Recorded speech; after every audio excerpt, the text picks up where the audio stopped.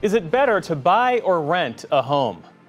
Buying has almost always been favored over renting when it comes to housing. For generations, the prevailing wisdom has been that renting is wasting money. But what about now, with a tough real estate market characterized by elevated listing prices and interest rates?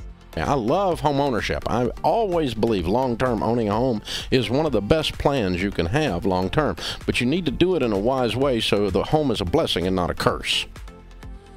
Hello, everyone. Welcome back to Currency Wizard. Today, we're diving into one of the biggest financial decisions you'll ever make. Should you buy a house, or is renting the way to go?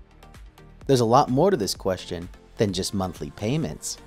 By the end of this video, you'll understand the deeper implications of both options, which can help you make a more informed choice. So let's get started.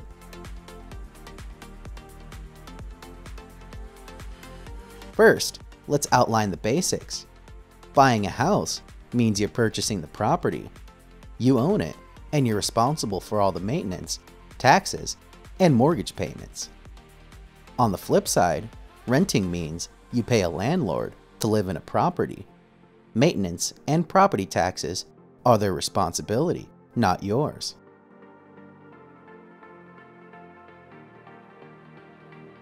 Buying a home is often seen as a solid investment. Why? Because real estate generally appreciates over time.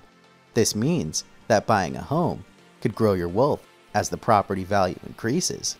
But there are costs to consider.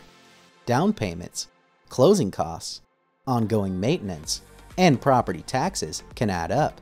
Not to mention, if the market takes a dip, so does your investment.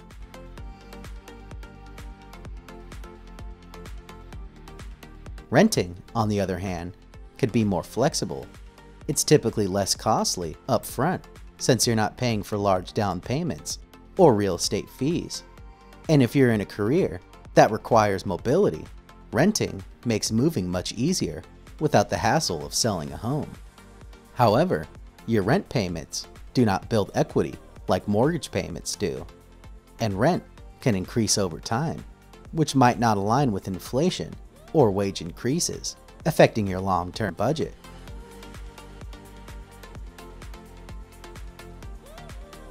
Buying a home can offer stability. You're in control. You can knock down walls or remodel the kitchen. Your home, your rules. Plus, there's a sense of community that often comes with home ownership.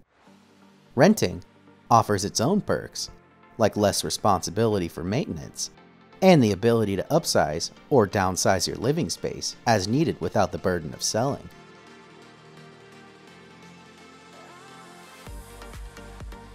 Making the right choice between buying and renting isn't just about financials or lifestyle, it's about your future.